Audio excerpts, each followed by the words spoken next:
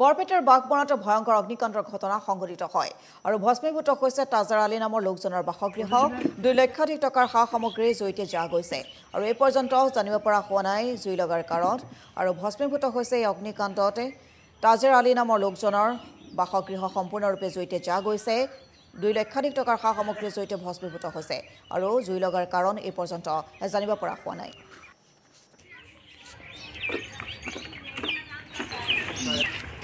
অলপ হাল্লা চিল্লা শুনো। শুনাৰ পিছতে আহিলোঁ আহি তেতিয়া চাম যে তাঁতলি ঘৰত জুই লাগিছে। জুই লাগিছে জুই মানে তামাম জ্বলি আছে। ঘৰৰ মাজত অলপ বস্তু বাহিনী বহুত আছিল সেইগিলাও পৰি ঘৰত টিন পাত কাঠ একদম চাফা হৈ গ'ল। পুৰি চা- চাফা হৈ গ'ল চৰকাৰী আলোচনা ঘৰ। চৰকাৰী আৱাস যোজনাৰ ঘৰ। হা। কিস্তি কেইটা পাইছে? কিস্তি দুটা পাইছে এটা পাওয়া নাই। লাস্ট কিস্তিটা আছে। গাঁওখনৰ নাম কি? তিন নম্বর বাগমারা।